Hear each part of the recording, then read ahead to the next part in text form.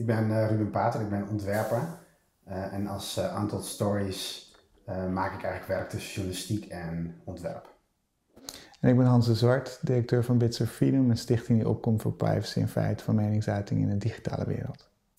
We hebben een posterserie gemaakt die eigenlijk een beetje kijkt naar wat mensen al weten over social media. maar ook de andere kant van het verhaal laat zien. En dat is eigenlijk een verhaal, denk ik, wat we niet vaak genoeg associëren met de media die we eigenlijk zoveel gebruiken dat we het eigenlijk dichter bij ons staat dan vaak de fysieke wereld.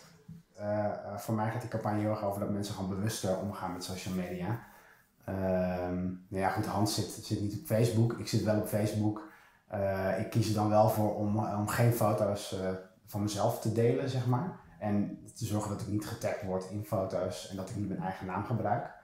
En dat werkt toch al best goed, want je kan mij ook niet vinden op Facebook. Um, ook al weet je wel hoe ik heet of waar ik woon of dat soort dingen. Maar goed, dat betekent natuurlijk niet dat al die data niet al uh, door Facebook, door je vrienden wordt gegenereerd. Maar ik denk dat het wel belangrijk is dat we heel erg een onderscheid maken tussen uh, ons, uh, dat, dat wie we zelf zijn en wat we voelen, wat we meemaken en onze verhalen eigenlijk van ons leven. Dat dat niet, dat dat niet echt in je voordeel werkt om die gewoon te delen op Facebook. En dat je Facebook niet moet zien of Twitter of LinkedIn moet zien als een fotoalbum. Maar het is gewoon een bedrijf en die, die, die verdienen gewoon geld met jouw verhalen en met jouw data. En je weet ook niet wat daarmee gaat gebeuren. En de manier hoe dat tot nu toe gegaan is, biedt ook niet echt veel hoop. Uh, dus, ik, dus ik hoop wat dat betreft wel echt dat mensen, ehm, behalve dat ze ook zichzelf beter beveiligen digitaal, dat ze ook op social media. Kijk, als iedereen op een gegeven moment niemand meer zijn eigen naam gebruikt op Facebook. En als we al, al het liefst natuurlijk nog dat we er allemaal van afgaan, maar als we niet onze eigen namen gebruiken, als niemand meer tag en geen foto's meer delen, dan houdt het platform gewoon op. Dus we hebben dat gewoon zelf in de hand. Wat ik denk dat mensen zouden kunnen doen, is um, uh, heel veel bewuster zijn in de technologiekeuze die je maakt. Dus ik vind het voorbeeld dat Ruben geeft, waarin hij zegt: Ik zit wel op Facebook, maar ik heb een aantal soort van keuzes gemaakt die ervoor zorgen dat ik me daar comfortabeler voel. Hij is er heel bewust mee bezig geweest en heeft hele bewuste keuzes gemaakt.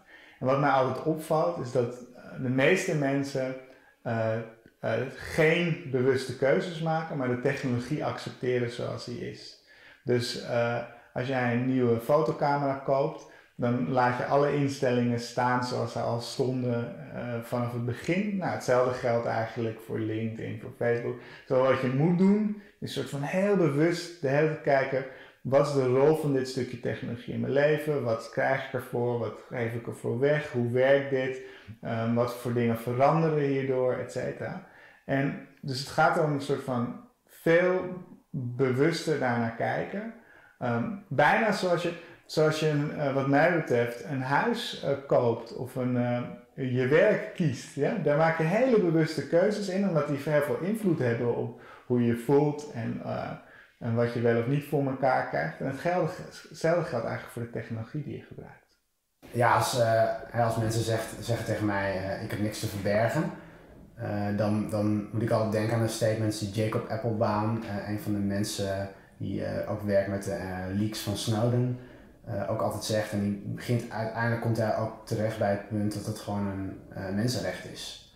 Dus gewoon jouw eigen omgeving gewoon uh, bewaren. Net als dat jij niet wil hè, dat je zou ook niet in een glazen huis willen wonen zonder gordijnen. Dat wil niemand.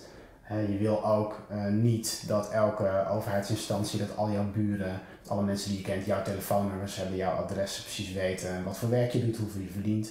Dat is gewoon een mensenrecht. Dus, uh, en ik denk dat we dat uh, uit het oog verliezen omdat wij uh, zo gewend zijn om vertrouwen te hebben in onze overheid. Dat we eigenlijk er niet van uitgaan dat dat, dat, dat vertrouwen geschonden gaat worden.